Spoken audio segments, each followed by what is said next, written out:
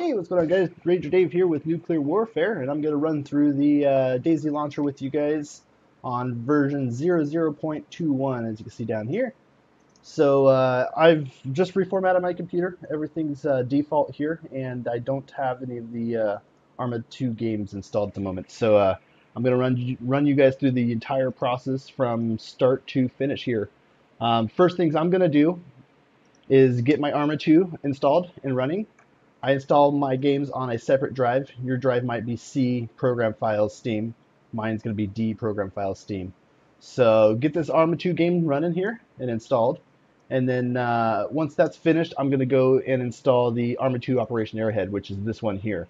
Those are the only two games that I'm going to be installing here, and then I'm going to be installing the uh, launcher here. So uh, pretty much starting with the uh, Arma 2. Uh, once that's finished, I will uh, come back to you guys and start with the Arma 2 Operation Arrowhead. And just a side note here, this is being installed into the uh, program folders, Steam, um, Steam Apps, Common, and then your game. So uh, let's see, it's not here yet because it's still installing, but it'll be showing up here soon. So your path, when it comes time, is going to be the drive that you installed on, which mine is C, or excuse me, D and then program files, Steam, Steam apps, and then common, and then the actual game. So if this was Arma 2 here, then our, our path would look like this here. Um, your drive, program files, Steam, Steam apps, common, and then the game, Counter-Strike Global Offensive. But we're not working with Counter-Strike, we'll work with Arma 2. So uh, once this done installing here, I will run the Arma 2 Operation Arrowhead install and then come back to you guys.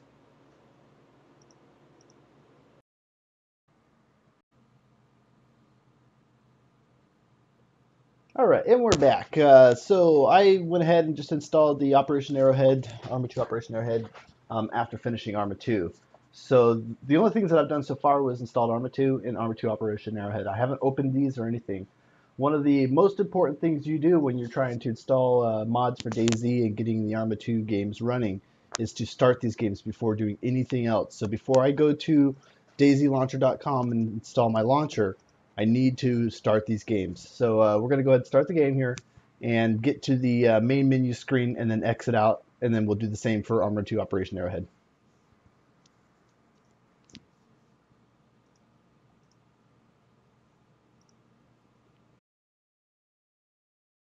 It's really important that you guys run the initial setup from Steam here. If you guys try to run from the desktop or something, it's not going to install your BattlEyes.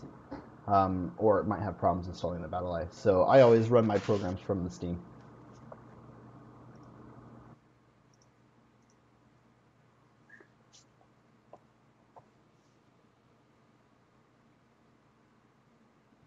Oh, that's weird. Okay, but it's going to launch anyways.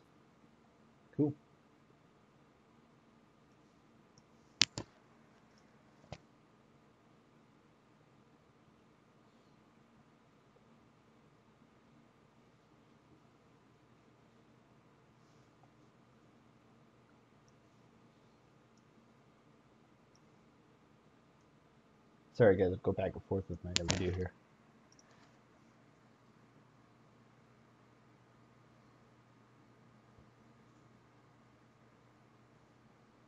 So once you get to this screen, you can go ahead and exit out. We don't need to do anything else at this point here. And then we'll go back to our games.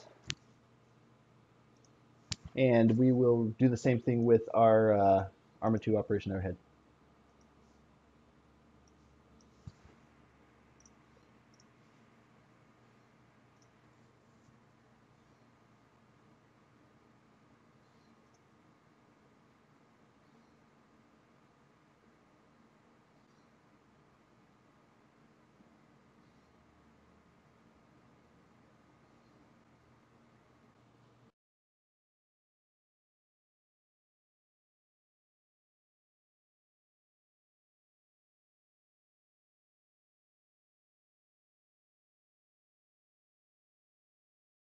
Now BattlEye is installing on my uh, Arma 2 Operation Arrowhead.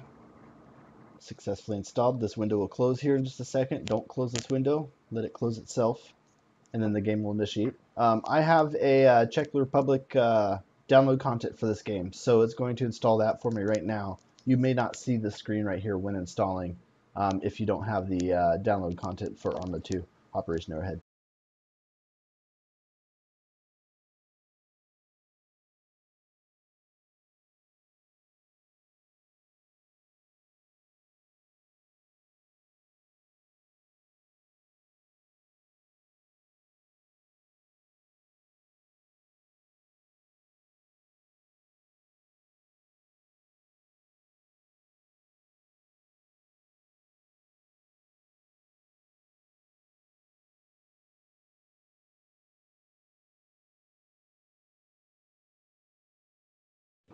All right, and then once we get to the main menu of Operation Arrowhead, we can go ahead and do the same and close from here.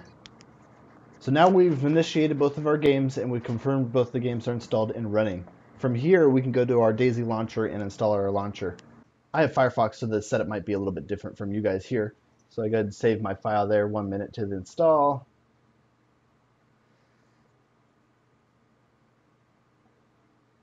And that was less than one minute. So now we'll go ahead and launch the uh, software here right away.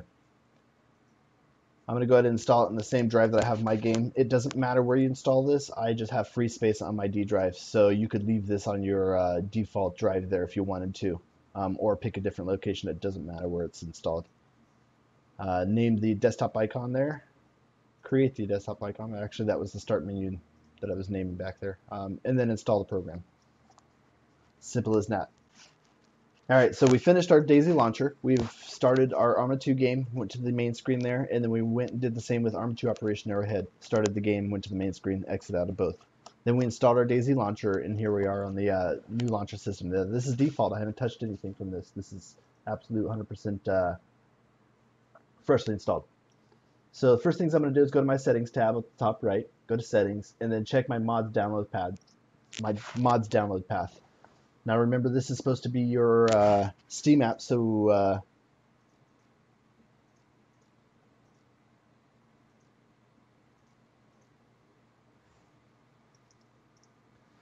Now I just want to confirm that these are the correct paths. Um, I installed it in the D drive.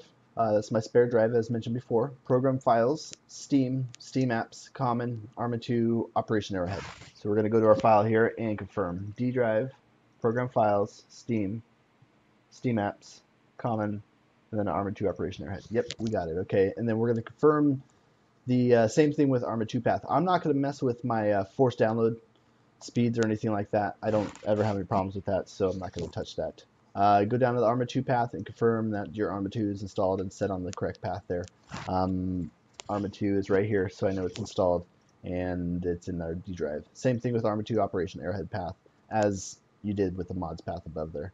So uh, confirm that that's Arma 2 Operation Arrowhead. Yep, looks good. Okay, so I don't need to mess with anything else in here. Um, and I don't need to save because that's default. So I'm going to close my settings here. And uh, this is the tricky part here.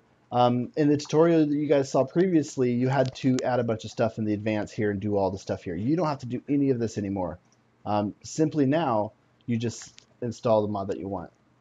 I'm going to allow access to the firewall for the DayZ launcher, and I'm going to install DayZ, the newest one, 1861 here.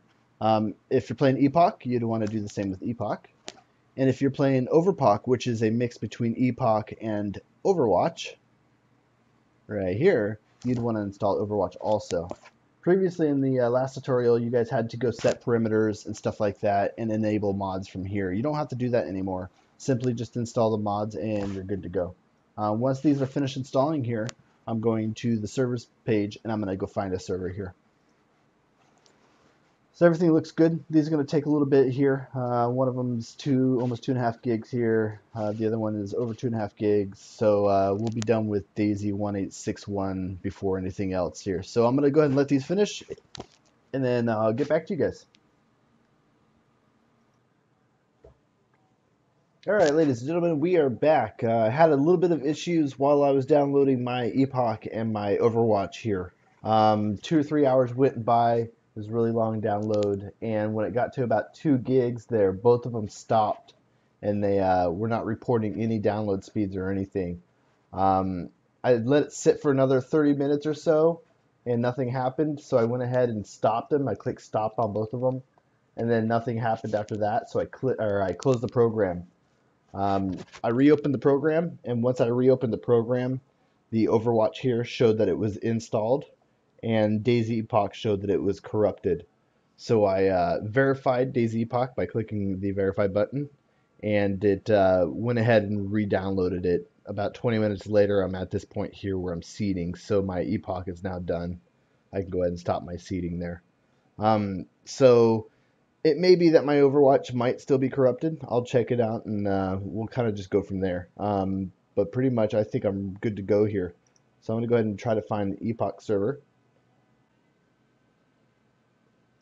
All right, here we go. We have a DayZ Overwatch uh, DayZ Epoch, uh, 55 players, Chernobyl. And uh, let's see where this takes us here.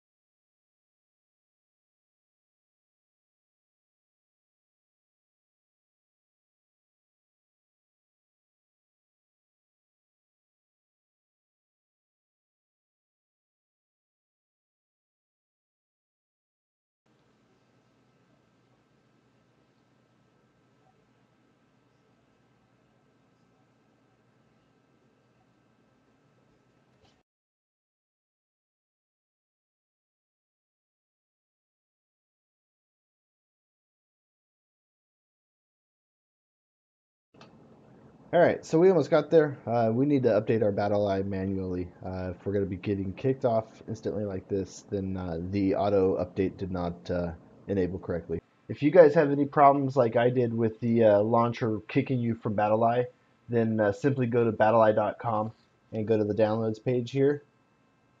Oh, let me get this window for you. It's not showing it. There we go. battleye.com. Downloads page and on the uh, downloads page, scroll down to your Arma 2 Operation Arrowhead, including DayZ Mod, and then uh, download the BattlEye client for Windows, not the service or the server, but the BattlEye client. This will put a single file onto your desktop or wherever you install. I install my stuff onto the desktop. Take that file and then go into your root directory of your game, which is Steam, Steam Apps, common Arma 2 operation arrowhead and then you'll see a uh, expansions. Place this in the BattlEye folder of your expansions. As stated right here. Okay? And that's pretty much it. Let's try this again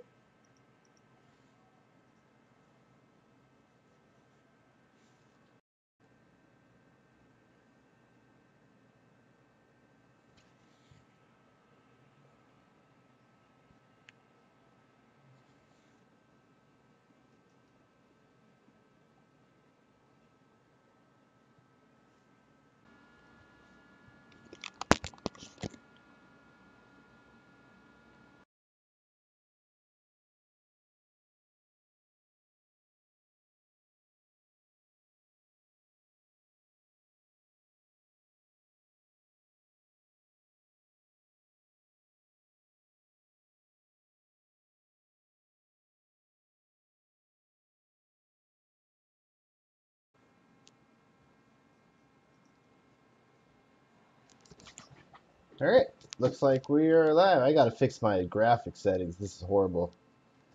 And uh, yeah, nice. Got some nice mods in this one. All right, guys, that pretty much concludes our uh, tutorial on uh, getting the News launcher running and available.